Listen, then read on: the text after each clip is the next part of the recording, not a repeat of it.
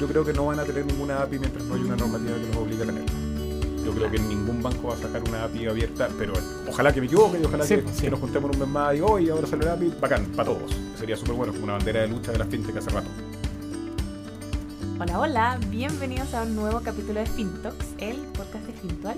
Estamos con un gran invitado, el invitado que tiene más voz de radio en toda la historia de estos podcasts, Emilio Davis, cofundador y CTO de Kipu. ¿Cómo estás, Emilio? Muy bien, muchas gracias. Y aquí estamos con Andrés, que es CTO y cofundador de Fintual. Hola, hola Francesca, ¿cómo estás? Muy bien, ¿y tú? Muy bien, gracias. Qué bueno, y también estamos con Agustín, que es CMO de Fintual, también es cofundador. Así es.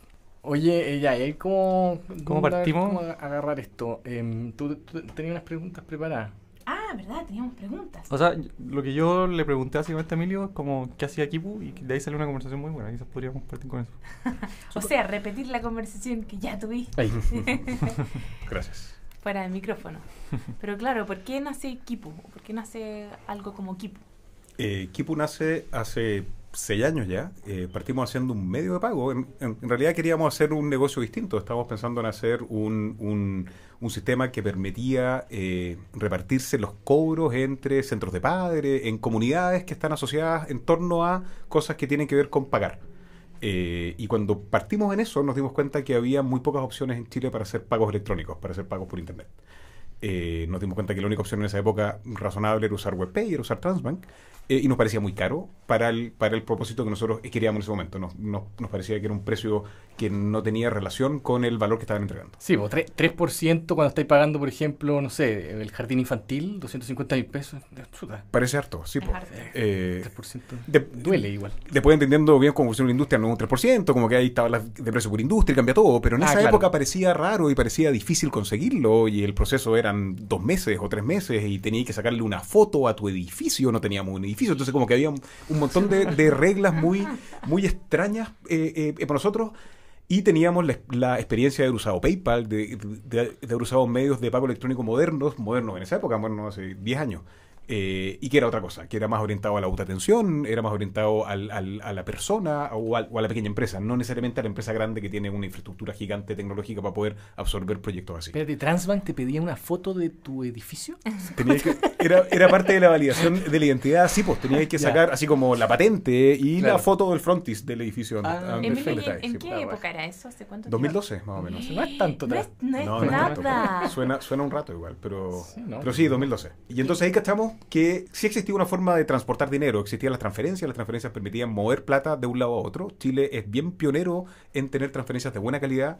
eh, gratis, gratis. para el que son- usuario. que no son gratis para el pagador. Son, claro. En teoría son gratis para las personas y también lo extendieron a gratis para las empresas, pero, pero son Claro. gratis y son instantáneas. Y son instantáneas y no, y no existe el concepto de la plaza, porque hay otros países en que si movís plata de, de diferentes plazas hay algunos días de, de retraso. Sí. Chile es instantáneo hace un buen rato y eso no fue una gracia de los bancos, fue, fue exigencia del, del regulador, que fue muy adelantado. Fue, creo que fue el primer país en el mundo que, que tenía esa calidad en las transferencias electrónicas.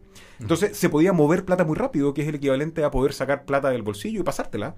Y si yo voy a una verdulería a comprar tomates, yo saco plata del bolsillo, te lo paso y nadie me cobra nada por hacer esa transacción. Entonces tenía sentido poder hacer un medio de pago en torno a eso, en torno a poder mover plata electrónicamente. Y, y lo que sentíamos que faltaba era una capa de información, una capa transaccional para que sistemas altamente transaccionales pudieran funcionar.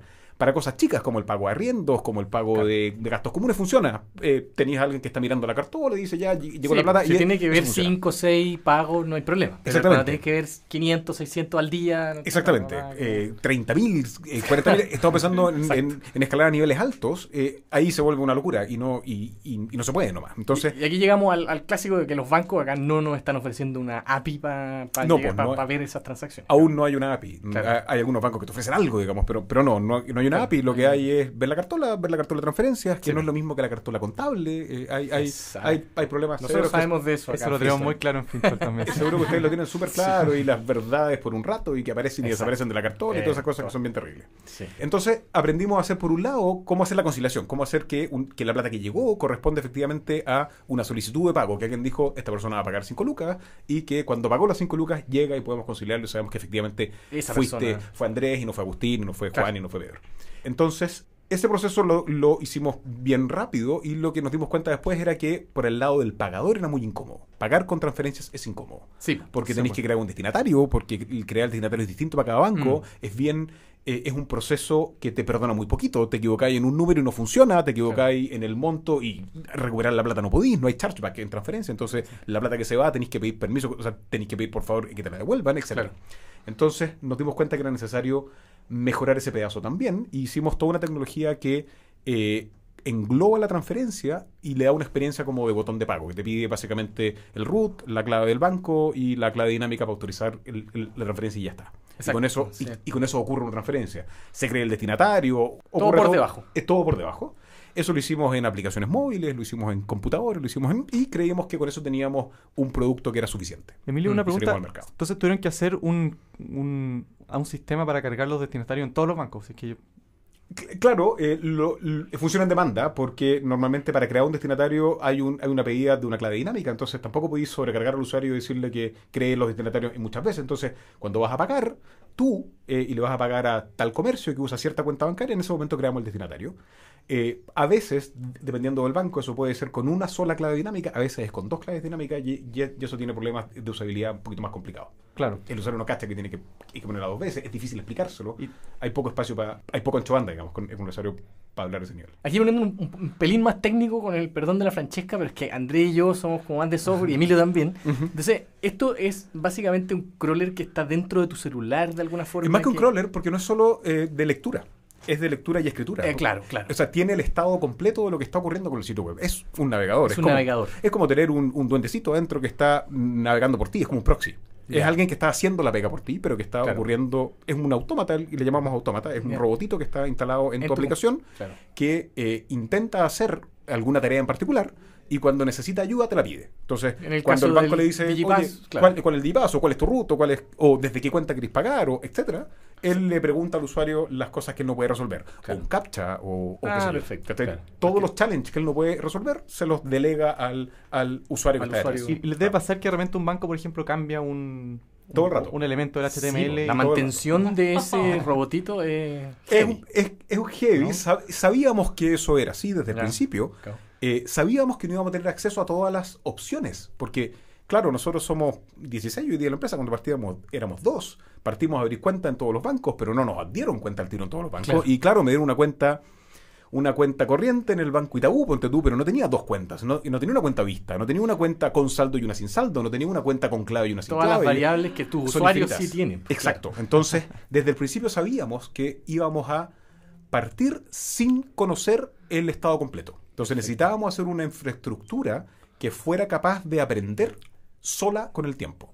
Sola con asistencia. Tenemos ingenieros que van, que van asistiendo el proceso. Claro, pero tienen las alertas adecuadas para saber qué le pasó al robotito La- en cada situación. La evidencia y las alertas, claro. Claro. Lo que tiende a ocurrir es que si aparece un camino nuevo, que ponte tú, un banco saca un mecanismo nuevo de, de validación. Lo- los bancos ahora se están pasando a estas aplicaciones como soft token, Sí. como, como el Mi Banco, el Banco de Chile, no, el Mi Paz, el Santander Paz, el, etcétera. Todos Sí. los Paz, los asterisco Paz. Eh, eso no estaba antes. Entonces, cuando llegó el primer usuario que tenía eso, ese no pudo pagar. Mm. Porque el robot no sabía qué hacer. Claro. Y en ese punto dijo, ah, no sé qué hacer. Le dijo al usuario, ¿sabéis que lo siento? No podemos continuar tu pago Claro. recopila toda la evidencia posible, nos la entrega a nosotros, se gatilla una de las alarmas, alguien se levanta a las 3 de la mañana, trabaja y, y, eh, aprende esto para, para, que el- para que la siguiente persona sí le funcione. Ya, perfecto. Entonces, Claro. es un proceso continuo. Sí, Siempre estamos trabajando Siempre así. sí. Hay, hay bancos que los construimos de cero así porque nunca tuvimos una cuenta. Eh, Claro. Y Ah, hay otros ya. que... A partir de datos de usuarios, claro. Sí, claro. Hacemos crowd, crowdsourcing de, de- de todo, todo el rato. Claro. Eh, pero, pero en realidad es más común que tengamos cuentas iniciales y ahora nos podemos saltar un poco en el tiempo. Hoy día estamos usando esta misma tecnología para otras cosas y normalmente ahí es, es en colaboración con los proveedores de la información y con los proveedores de los sitios. Entonces nos dan cuenta, nos dan usuarios, nos dan cosas. Ya, perfecto. Esto es como partimos. sí, pues, me imagino que cuando partieron no eran los mejores amigos de los bancos. No, Eh, no, porque eh, nos tildaron de que hacíamos phishing, de que hacíamos man in the middle, de que hacíamos de todo, de que nos robábamos las contraseñas, de que Sí. todo, no, no, no, nos amenazaban con los oficiales de seguridad de los bancos, que, etcétera. Eh, tuvimos infinitas reuniones, infinitas conversaciones, hablamos con todo el mundo, fuimos a presentarnos a todos los que nos, nos aceptaron eh, eh, recibirnos. Claro. Y, eh, y nada, el, el proceso que tenemos en nosotros es muy transparente. Un usuario tiene, un, tiene el derecho para operar con sus, por el contrato que firma, por el contrato de canales remotos que, que él firma. Nosotros no hacemos nada ahí, le entregamos un navegador distinto nomás. Es como... Es eh, como Chrome. es como, es, es como Firefox. usáis, Explorer, después empezaste a usar Chrome, después empezaste a usar Firefox. Es otro. Sí, es claro. otro que es un poco más choro, que tiene algunas gracias y que, Claro. y, y- y que, y que no- Especial para los bancos. Etcétera. Claro. Y que hace mucho de más usable la experiencia con los bancos. y de hecho aporta niveles de seguridad. No se equivoca, es más resistente al phishing. Hacemos hatching de los certificados de los bancos, por lo tanto, si es que el usuario está entrando a un banco incorrecto, podemos alertarlo y no procesamos el pago. Entonces, en Claro. realidad, aportamos seguridad al proceso. Mm. Eh, y eso lo han entendido los bancos ya a esta altura en que ha pasado el tiempo y los bancos han pasado de una actitud más cerrada a una actitud mm, profundamente más abierta. Hoy día estamos en colaboración con más de uno y estamos pensando en nuevos negocios y estamos haciendo cosas con bancos. ¿Hay, hay alguno que, que venga más, que esté más cerca de tener una API? Tú tenés que saber. Eh, no, ninguno. Ah, ya. ¿Y en cuánto tiempo crees tú que tendrían una API? O Yo creo que no van a, yo creo que no van a tener ninguna API mientras no haya una normativa que los obligue a tenerla. Yo creo que ningún banco va a sacar una API abierta, pero ojalá que me equivoque y ojalá Sí, que, pues, que sí. nos juntemos en un mes más y hoy ahora sale la API, bacán, para todos. Sería súper bueno, es como una bandera de lucha de la fintech hace rato.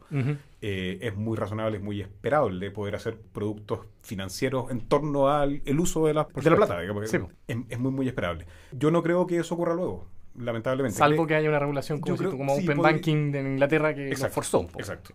O lo que está pasando en Argentina. Si no hay para ir en Inglaterra, en Argentina están, están haciendo ¿también? cosas bien interesantes. Mira. Eh, que en Argentina hace un rato eh, sacaron esto de los códigos bancarios unificados, que es, Ajá. ya, ok, para hacer una transferencia tienes un número único, es como el routing number gringo. Ya. eh, que es un puro número para toda la cuenta. Entonces ya eso simplifica mucho el proceso de, Eso de incluye, hacer transferencias. O sea, incluye el tipo de cuenta, el Todo, nombre del banco todo. y todo eso. Es un Ah. puro chorizo. es un puro chorizo.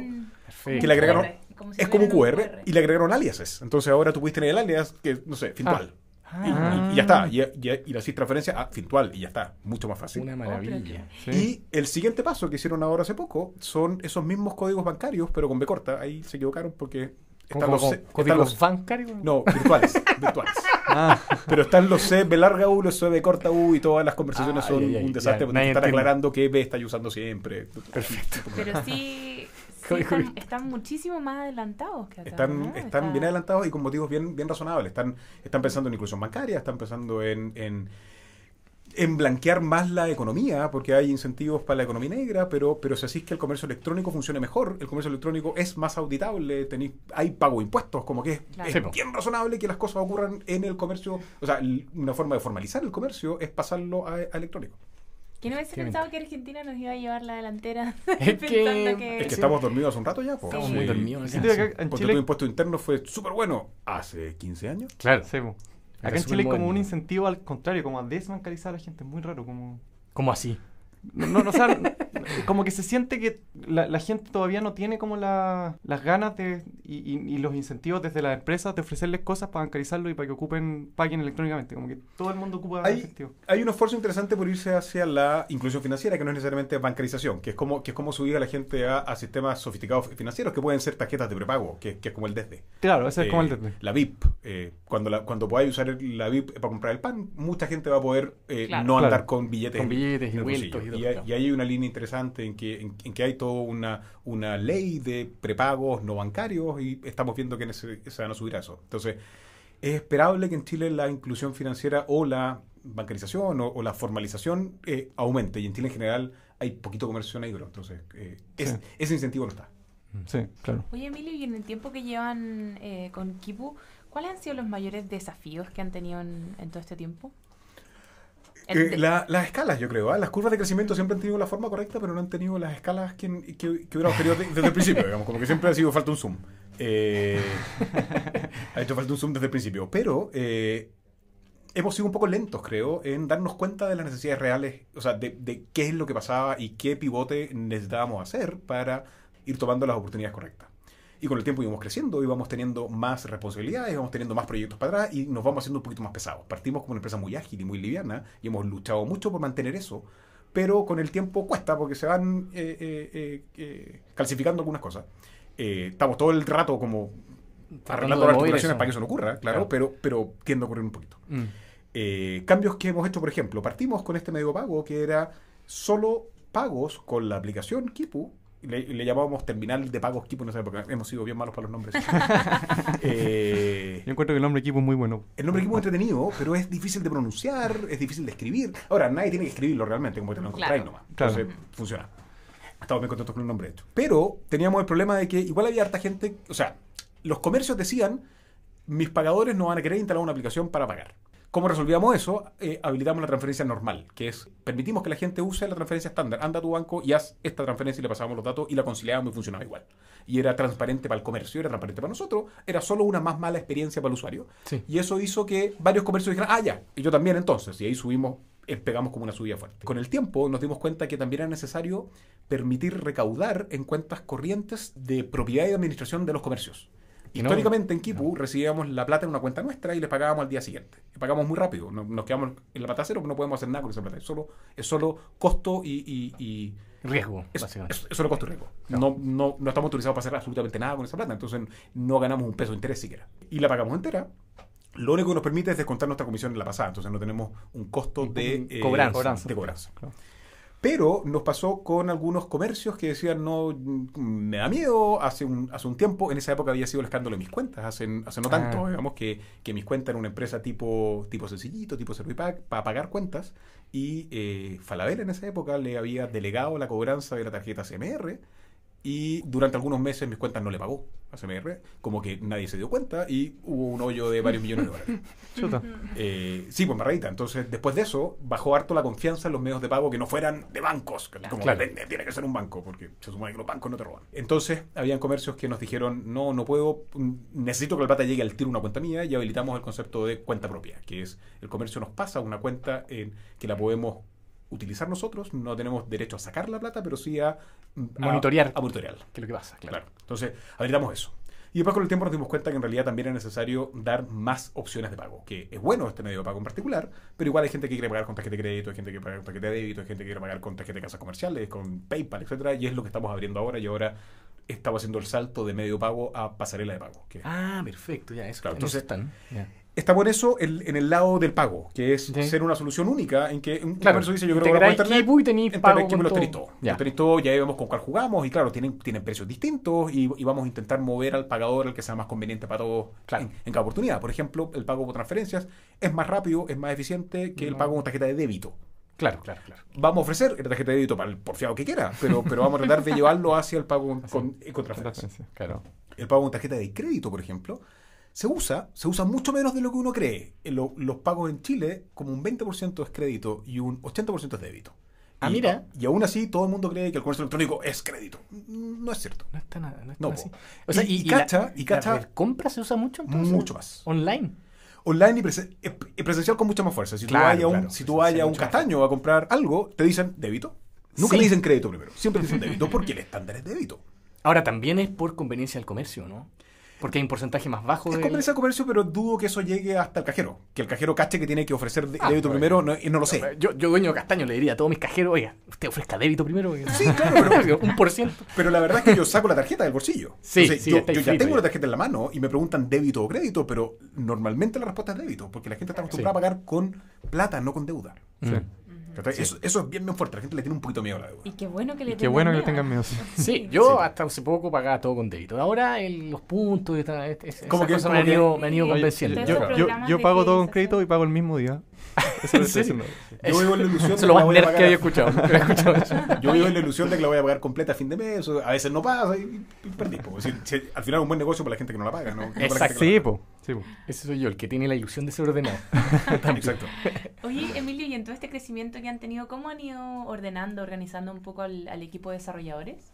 Primero, ¿cómo, cómo, cómo, cómo es? O sea, hoy día, ¿cuántos son? ¿Cómo? Día somos 17 en Chile, hay dos en Argentina que están armando el área, que son principalmente comerciales, están armando Ah, ya. equipo Argentina, porque estamos ahora en una etapa de expansión, vamos a partir con Argentina, vamos a partir con Colombia, con presencia comercial nuestra. Tenemos en Colombia un proyecto que terminó el año pasado, que fue bien, bien exitoso, pero fue un proyecto, vendimos un proyecto en Colombia. Existe equipo Bolivia, en que, en que también hay tres o cuatro personas allá también, eh, que, son de otra empresa en la que nosotros tenemos una participación. En Bolivia, en Argentina también vamos a armar una filial.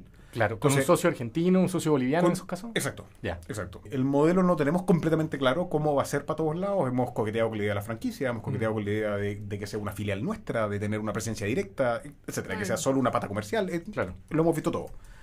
Lo más probable es que tengamos el el área de ingeniería y de operaciones en Chile y que tengamos solo presencia comercial en todos los países. Ya, perfecto. Eh, Y esa área de ingeniería que no- nos interesa más de la cuenta. Nos, somos muy nerd. Pero, No, no, pero. Es un área súper linda.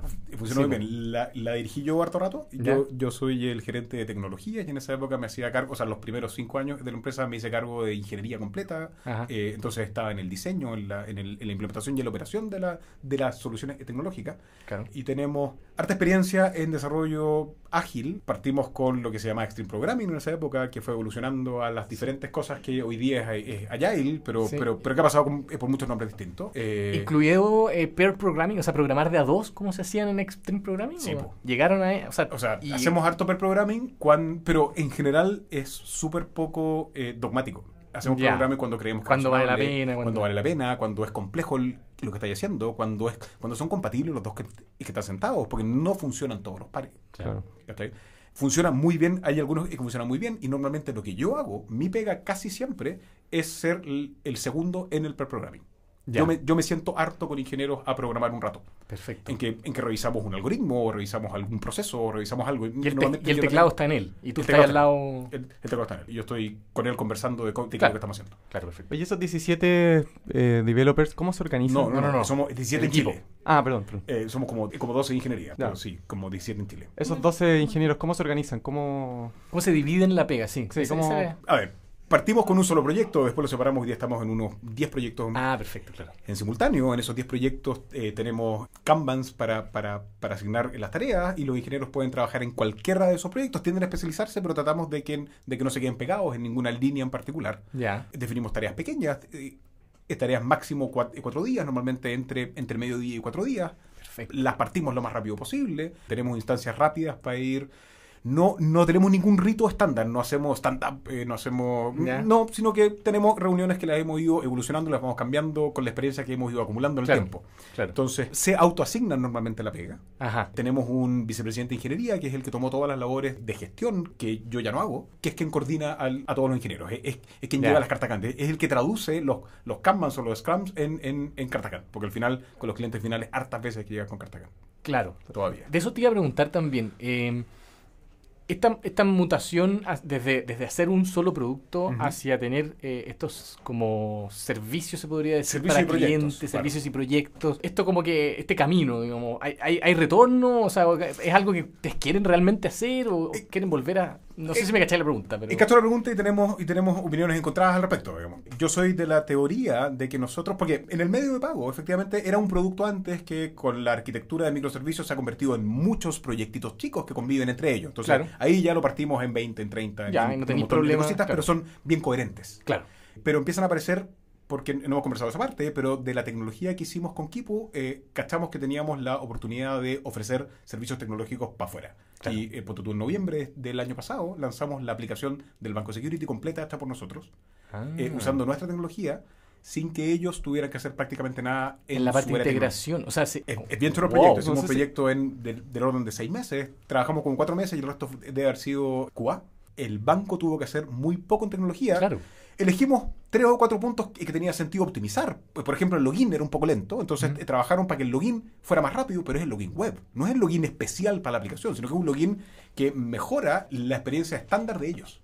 Entonces, ellos ya desarrollaron el músculo de hacer un sitio web. Llevan los últimos 15 años aprendiendo a hacer sitios web y ya lo saben hacer. Claro. No saben hacer aplicaciones No. tienden a, tienden a externalizarlas, porque es un músculo que no han Sí, no han desarrollado más. todavía. Los bancos más grandes, los que han metido más lucas en esto, terminan armando áreas de, de eso, que es Mm. armarlo de nuevo y, y parte de nuevo con reglas nuevas. Se les desarma la arquitectura, a veces- hartas veces no funciona el modelo de tres capas, terminan armando un híbrido de cinco capas o, o- o- Sí. o- o que se mueve de diferentes formas. Entonces, es bien traumático abrir un canal nuevo porque es un canal complejo en, en varias dimensiones. Claro. Lo que hacemos con Project to App es que montamos una aplicación nativa. No es responsiva, es nativa. Tiene, Sí. tiene experiencia de, de aplicación local Sí. y nativa sobre el sitio web. Por lo tanto, para Perfecto. ellos, ellos llegan hasta administrar el sitio web. Y de ahí en adelante lo pueden externalizar completamente en nosotros. Wow. Ellos hacen cargo de la de las redes sociales, de, de- de Google Play, de, de, del Apple Store, pero, pero hasta ese nivel nomás. Sí. Entonces les permite hacer un proyecto que era muy difícil de priorizar, que era muy caro, que era muy lento y que era con un impacto muy alto y que les congelaba al resto de la organización. Ahora cacho. pudieron hacerlo y siguen evolucionando. Y ellos van y, y hacen un cambio en un sitio, nosotros hacemos un cambio en los autómatas que, que conversan, y ya está. Ya estamos al aire y buena parte de nuestra tecnología es en runtime, por lo tanto no hay que lanzar aplicaciones nuevas, sino que se cambian las reglas. Por lo mismo que originalmente habíamos hecho que nuestra tecnología fuera resiliente a cambios pequeños en los bancos, Ujú. También es resiliente a cambios pequeños en, en la infraestructura para estas aplicaciones. Claro. claro. Entonces funciona muy, muy bien. O sea, si viene, por ejemplo, ahora otro banco, ¿qué, parte de esa tecnología es reutilizable y qué parte tienen que hacer un proyecto nuevo? y Harto reutilizable. Los autómatas, que es los que hacen la traducción entre el sitio web y la aplicación, hay que hacerlos de nuevo normalmente, porque son sitios típicamente muy distintos. Sí. En Chile pasa poco que los bancos tengan como el mismo sitio web. En Estados Unidos, por ejemplo, es más común que hayan 20 bancos que tienen el mismo sitio web. Claro. Ah, ¿Tienen Chile- proveedores en común? Claro. Ah, Eh. Bancos chicos, bancos como regionales, Claro, claro. bancos de una ciudad. Contratan un proveedor de... Y pasa un gallo que se los venda todo. Ya. Acá normalmente no. Acá, Cada uno desarrolló su sistema. acá cada uno y desarrolla el suyo. Toma sus decisiones. Quizás la parte móvil, quizás la parte como, como los sitios web que no son solo para móviles. Guap. Ah, chu, sí, No acuerdo. Ya, hubo, hubo un proveedor que le vendió como 4 o 5 años, entonces todos tenían el mismo. En esa parte, pero nadie lo usaba, así que da lo mismo. No, claro. Eh, entonces, esa parte que se le entera de nuevo, pero es razonablemente rápida. La tecnología para hacer una aplicación ya, ya la tenemos, los objetos, los controles ya los tenemos. Entonces, hacer una nueva aplicación es infinitamente más rápida que hacerla entera, porque hacer una aplicación móvil completa, altamente transaccional como esta, porque esta no es una aplicación que te muestre cosas, es una aplicación que te permite comprar dólares, eh, Sí, eh, pues, pagar la tarjeta de crédito, como trabajar, Mm. hacer la pega requiere normalmente un desarrollo por el lado de los servidores muy profundo, que casi siempre queda fuera del control de la, de la empresa que contratan para hacer la aplicación móvil. Mm. Entonces esos proyectos se atrasan infinito porque no tienen cómo controlarlo. Por un, por un tema más de comunicación con el equipo de comunicación y prioridades, porque hay cuellos, de, claro, hay cuellos cuellos de de, botella. de botella atrás, bien atrás, Sí, que, y que te dicen no, porque el core bancario. El core bancario, y, claro. y te dicen core Entonces esta, no solución, esta solución de agarrarse de la web, que, que sonaría como tal vez para un ingeniero de software así de primera, como espantoso, ¿no es cierto? ¿Cómo se te ocurre? Es como cómo se te ocurre, ¿cierto? Pero, pero en realidad te- termina siendo una genialidad, porque finalmente, eh, en el contexto real de lo- cómo funciona es, un es banco. muy, es muy pragmática la solución. Claro, una solución es muy pragmática. Y permite evolucionar, porque lo interesante es que la tecnología lo que hace es que tenemos una aplicación que usa ciertas partes del sitio web, o sea, convierte sitio web en APIs. Claro, Pero si tenéis la API, usamos la API. Obvio. Entonces esto permite evolucionar en partir. Tenemos una aplicación en cuatro o cinco meses y si queréis ya este pedazo, hazme la API y lo, y lo Claro, usamos directo. esperemos. Exacto, Este- exacto. Claro. Entonces permite hacer el proyecto hoy día y, y estar en estar en el App Store en, en cuatro o cinco meses más en vez de estar en dos años más. Mira, nos diste una buena No, idea para no- algunas cosas que tenemos que integrar nosotros acá. Estábamos peleando con el... Sí, yo, yo lo encuentro una genialidad, como sí. bypasearse los bancos que no quieren hacer una API, como decís tú, y... O no pueden, o no alcanzan. O no alcanzan, no- Exacto, exacto, porque, por- porque partió como los que no quieren. Y ahora es los que no pueden, Claro. o, los que, o los- o los que tienen problemas de presupuesto, o problemas de prioridad, Claro. o problemas de gente, O de complejidad, claro. o de complejidad. Al, al- al final esto es un factibilizador, esto permite hacer proyectos que hubieran quedado fuera del, del- de la línea corta. nomás. Claro. Me da demasiada risa. Ojalá la gente que está escuchando esto pudiera ver los ojos de Agustín y Andrés porque se abrieron así como platos. Me da demasiada risa. Sí. Este pragmatismo, ¿lo fuiste aprendiendo, tú creí? Tú- te- si, si te conectáis con el Emilio ante- antiguo, ¿era Eh, tan capaz de...? Yo creo que lo desarrollé harto en esta, en En esta pega, en este emprendimiento. Este Ya. emprendimiento que hemos que, que ha sido bien interesante desde el punto de vista del- del- de la tarea emprendedora, de, de cómo diseñar una Sí, empresa.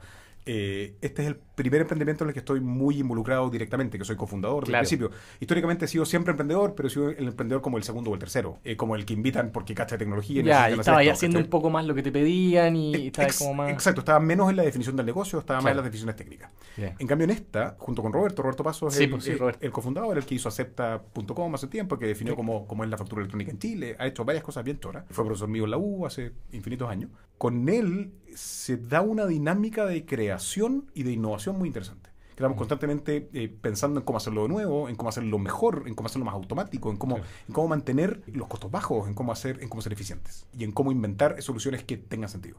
Claro. Nos equivocamos, infinito. Lo, la embarramos y nos vamos por caminos largos que no tenía sentido y nos damos cuenta a los seis meses, pero nos damos cuenta y lo cambiamos y, y, Claro.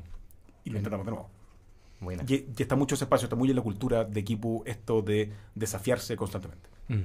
Oye, Emilio, antes de que viniera para acá, nosotros preguntamos por redes sociales qué le preguntarían al cofundador de Kipu. Pablo nos preguntó, o sea, nos dijo que te preguntáramos, ¿cómo protegen los accesos al banco de todos los usuarios? No cacha nada, pues si no tienen los accesos a los bancos. Eh, Bueno, bueno. Pero igual es una, Perdón, Pablo, ah, que tenéis que resolver. Sí, por supuesto. Y, es- y es- y es como la primera pregunta que nos hacen que nos hacen en los bancos cuando hago eso. Oye, pero te caes con las claves de, de mi usuario. No, las credenciales o, la- o las formas para validarte, tú las escribes a tu teléfono y se van de tu teléfono a tu banco. Y listo. Nosotros nos quedamos con la evidencia de que algo funcionó o no funcionó, pero no pasan por nosotros nunca las credenciales, por lo tanto las protegemos no teniéndolas. Claro. Para nosotros es un costo enorme, sería un, un, un- un cacho. Hay, hay otros niveles de servicio que vamos a dar más adelante como medio de pago. Por ejemplo, si implementamos pago con tarjeta de crédito en modalidad transacción completa, que es que sí recibimos los números de la tarjeta de crédito y nosotros hacemos la comunicación directa con, con el autorizador, en que sí vamos a tener datos que son sensibles. Y en ese caso hay estándares. está- Van a tener que ser PCI compliant, ahí, como le llaman. ahí vamos a tener que ser PCI compliant, exactamente. Ahí se va a poner aburrida la pega. Ahí se pone más latera, pues, porque pasan cosas como que la gente que programa no puede pasar a producción. Ah, ¿en serio? Sí, pues. ¿Qué otras serio? cosas, ¿qué otras cosas tiene el PCI compliant? hay hartas murallas chinas bien desagradables.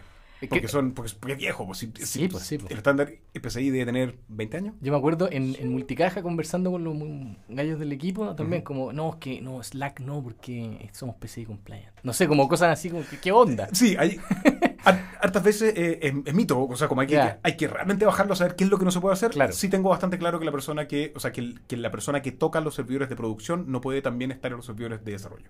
Ah, O sea, hay una diferencia que es bien desagradable. Nosotros estamos bien en la cultura de los DevOps, de que, de Sí, que cada, pues, de que cada Todos desarrollador los desarrolladores son un poco... Exacto, todos están a cargo de la tecnología. De operación todo- también, pues, Y sí. está a cargo de la producción, muy en la onda Amazon, muy, muy, muy una onda que tiene sentido, que, que hace harto rato como que lo respiramos bien y tenemos que pensar cómo vamos a lidiar con eso. Claro. Porque vamos a querer cumplir con el estándar en algún momento. Se turnan un rol de... eh, nosotros le llamamos Batman acá. Eh, ¿Qué- que ¿Quién es Batman? Ba- Batman va rotando. Eh, es uno de los devs eh, que está como ya más como en, el, en la, La línea línea, de lucha, tal vez, de batalla. Perfecto. Y recibe los problemas y los resuelve. Eh, y no queremos que sea una persona siempre, porque sería muy aburrido esa pega, pero al mismo tiempo es entretenido un rato. Y, Sí, y además entonces- sirve sí. ser esa persona Sirve. para entender cuáles son los problemas y, y después cuando sea le toque ser desarrollador, poder ¿Y él, resolverlo. y él resuelve los tickets de soporte directo? ¿A él, No. a él- a él le llegan o hay un área de soporte? No, no hay un área No hay de de soporte. soporte, Nosotros somos todos área de soporte. Perfecto. Y él resuelve los tickets más, Más- más, complejos, digamos. Acá nosotros tenemos labores de operaciones que son bien claras, que es básicamente rendir las platas, que, es que todos los días tenemos que pagarle a usuarios, Claro. hay que facturar, hay que hacer como ciertos eh, procedimientos que son bien pesados. En- entonces tenemos un área de operaciones, Ya. que, que- que además es soporte. Y ellos se encargan de, de mantener el Zendesk o el... o- Sí, o- todos los tickets. Ojalá contestar el teléfono lo menos posible, tratamos de que no sean por teléfono, que sean por ticket. A veces llega gente a la oficina, como que pasa todo eso. Y tenemos un, un enlace con, con ingeniería que sí él se va rotando, sería como nuestro Batman. Que le responde operaciones. Ah, eso, Ah, ya. claro. Ah, sí, sí, sí, parece. Tienen un Batman. Claro, pero no le tenemos nombre, yo creo que podría ir el nombre. Les va a gustar más porque parece Sí, un castigo. Como que- sí. En, en Instagram también nos dijeron, ¿qué opinas de Transbank? Eh, no, para nada. Som- Somos, Transbank está ahí es una, es una, es una empresa que, que armaron los bancos hace un buen rato, que, la, que tenía sentido que funcionara como funcionó. Eh, lo- lo- los bancos hace mucho tiempo dijeron que el comercio electrónico en Chile era mala idea porque faltaban el- el- las escalas, que la única forma de que fuera rentable, que fuera posible, era que les permitieran armar una sociedad única que, que se encargara de hacer un, pequeño monopolio para... un, un- un monopolio de la adquirencia. La adquirencia, seguramente ya todos saben los que escuchan este podcast, pero es Sí. eh, quién firma el contrato con el comercio para eh, eh, captar pagos con tarjetas de crédito o débito. Eso ya no tiene sentido a esta altura. Se, se demostró que ya el, el- el negocio está desarrollado, el mercado existe, hay, una, hay, hay un interés por pagar electrónicamente. Entonces, ese, ese particular ya no tiene sentido, ya quedó obsoleto. La Fiscalía Nacional Económica ya hizo la recomendación hace un rato de que eh, se acabe este monopolio, de que salgan de la, no de la propiedad, pero que se salgan de la adquirencia. El Banco Santander y, y anunció que lo va a hacer. Entonces, Sí. Transbank está en un periodo complejo de transformaciones en que le cambian muchas cosas. Transbank funcionaba muy en la línea de eh, una empresa rentable por decreto. Eh, Claro. Ellos cobran eh, lo suficiente para tener un- una, una utilidad predefinida. Entonces, están bien asegurados en esa línea y, ca- y sacarlo de, de ese paso es desafiante. Aparecen las tasas de intercambio eh, explícitas versus las implícitas. Podemos entrar en esa línea, que es, que, que es cómo cambia el mundo para ellos hoy día y cómo se van a adaptar para allá. Se sale Transbank, eh, quizás se sale el Banco de Chile, como que podrían pasar cosas que, lo, que los cambian harto. Le falta competencia, le falta competencia no por precio, el precio en Chile no es ridículamente caro. No es tan caro, ¿cierto? No, no, es, no es barato tampoco. No. Eh, No, pero comparado con Perú, por ejemplo, es barato. Sí, pero pasa, pero pasa que es barato en promedio, pero son con los promedios de, de párrafo. Entonces Claro. no, es- no es realmente barato, es, es barato para los grandes transactores. Para los grandes, sí. Los, Sí, sí. los grandes transactores eh, pagan poco, pero hay gente que todavía está pagando el 5%. ¿Hay ¿Cachai? pagos del 5? Sí, pues porque hay gente que tiene contratos muy viejos que nunca los renovaron y les cobran el 5. El, Ojalá. el sastre de la esquina, no sé cuánto, ese Ya, paga el ni 5. siquiera, ni ¿Sí, siquiera sabe, tal vez, claro. Que- Claro, y le pagan a los 15 días, no sé, pues tiene condiciones viejas porque Sí. todo el procedimiento es viejo. Mm. Eh, echar a andar un, un- un negocio es viejo, actualizar los contratos es difícil, como tienen roces muy antiguos. Mm, Son muchas personas, son 600 personas, una locura. sí.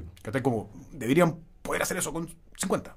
de- definitivamente. Sí. ¿cachai? Sí. Claro. Entonces, hay oportunidades interesantes para Transman, tiene que, tiene que modernizarse, tiene que, tiene que crear nuevas cosas. Han estado sacando proyectos nuevos, sacaron OnePay, OneClick, están sacando un, un POS móvil, están como tratando de ponerse un poquito al día. Y es un desafío interesante, pero allá vamos.